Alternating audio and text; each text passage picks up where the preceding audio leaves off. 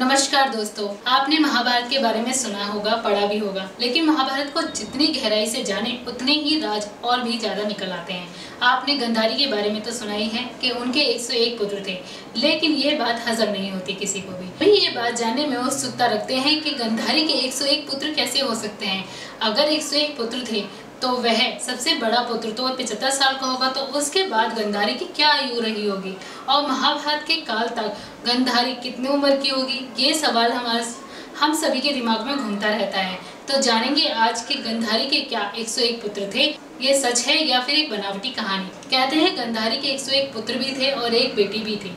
लेकिन ये कैसे संभव हो सकता है? जानिए इस वीडियो के दौरान कि गंधारी के 101 पुत्र कैसे हुए। नंबर एक कहते हैं गंधारी के दो पुत्र। महाभारत में हमने उनके बारे में सुना भी है। एक तो दुर्योधन था और दूसरा था दुशासन, जिसके बारे में हमने महाभारत में पूरी तरह से जाना भी है, जिनके बारे में ज़िक्र भी है। वो और पुत्र हैं जिनका ज़िक्र। एक तो था विकर्ण और दूसरा था युजुत्सु जिनका ज़िक्र भी महाभारत में किया गया है, लेकिन सौ पुत्र होना, यह कैसे संभव हो सकता है? इसके बारे में हमें अब इस वीडियो के दौरान ज्ञात करेंगे। नंबर दो, इस ग्रंथ को महर्षि व्यास ने लिखा था और वह गंधारी उनकी सेवक थे।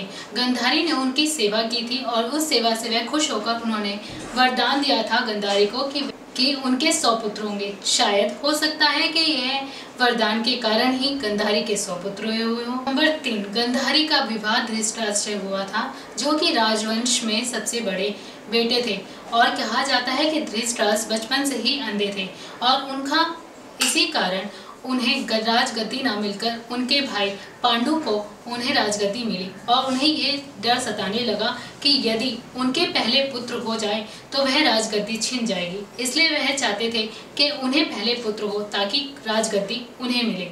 नंबर चार, पागलपन में पीटने के कारण गंधारी के मांस को जन्म दिया, जिस मांस के मास के जन्म होने के बाद महर्षि व्यास को बुलाया गया। महर्षि व्यास को गंधारी ने जब अपनी इच्छा जताई कि वह एक पुत्री भी चाहती हैं, इसलिए उन्होंने उस मांस के 108 टुकड़े किए और उन्हें ढकने के लिए जार मंगाई जार में मांस के टुकड़ों को रखने के बाद उसे ढक दिया। तभी तुरंत कहा जाता है कि गंधारी 101 पुत्रों, यानी कि एक सौ पुत्र और एक बेटी की माँ बनी। नंबर पाँच, इस जन्म की अवधारणा के बाद सभी लोग इसे ठीक तरह से मानते भी हैं। आईवीएफ यानी कि इन फर्टिलाइजेशन के, जो कि अब प्रचलित ज़्यादा है, इसके बारे में ज्ञात होना। यानी कि महर्षि व्यास इतने ज्ञानी और ध्यानी थे कि उन्हें इसके बारे में अच्छी तरह से ज्ञात था। तभी तो उन्होंने मांस के टुकड़ों को जार में बंद करके अच्छी तरह से पोषण दिया। पोषण देने के बाद वह 101 पुत्रों की माँ भी बनी। कहते हैं यह कुछ लोग मानते भी हैं और कुछ लोग इसे नकार भी रहे हैं। तो ये थे वह कारण, जिसके कारण पता चलता है कि गंधारी के 101 पुत्र कैसे हुए। सब महर्षि व्यास के कारण ही हुआ। तो जाना आपने इस वीडियो के दौरान कि महर्षि के द्वारा किस तरह से गंधारी को 101 पुत्र की प्रगति हुई थी। मेरी वीडियो को लाइक, शेयर एंड सब्सक्राइब करना ना भूलें।